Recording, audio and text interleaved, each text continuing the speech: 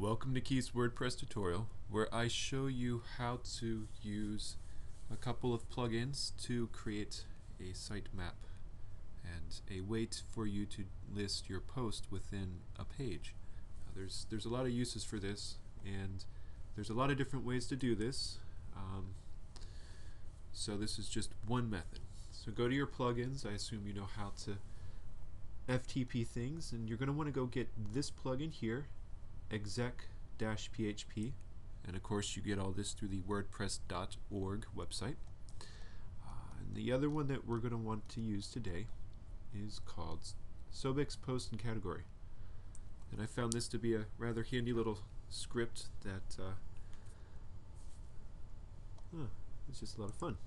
So go ahead and activate these these two particular plugins.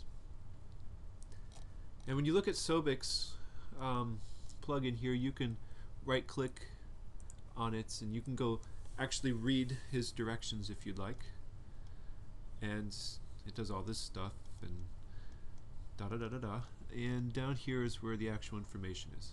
And there's a lot of ways to put the information in, but we're just going to look at for the most basic, which is this right here. Copy this PHP code and go back to your site. And today we're actually working on positively negative expressions. So what we want to do for Pat is take her um, store here where she's got this beautiful gallery. We, we want to be able to create a single page where all of her pictures are listed so that people can um, buy them a little easier. So we need to create a page here.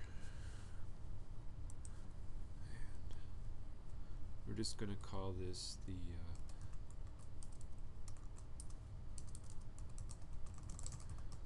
picture index right now for lack of a better word and we're going to paste that code here.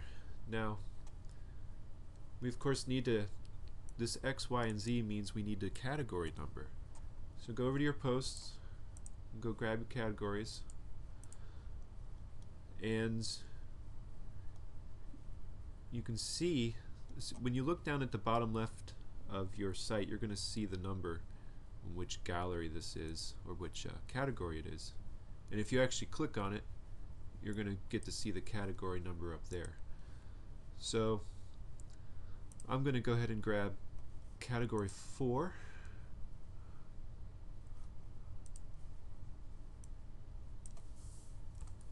And this is called Here Comes the Sun.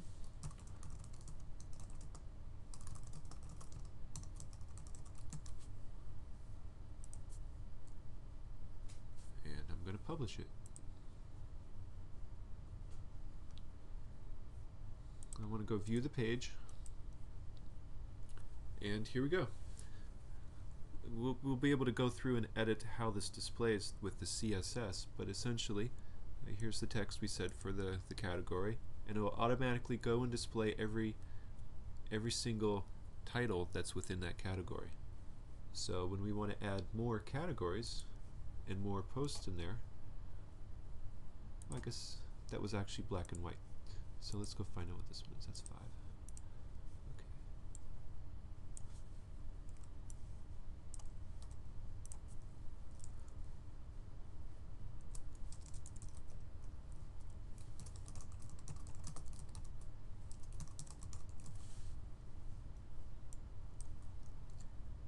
It's always good to double check your work.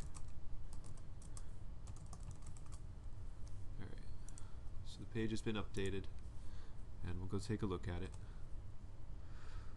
And there it goes. So we got the correct ones in here now. And essentially we can go from here and continue to build a picture slash store index of any number of posts that we want. Uh, since this is for a store it's an e-commerce setup but it works for any kind of information that you want to display. So I hope you have found this tutorial useful I hope you have an excellent day.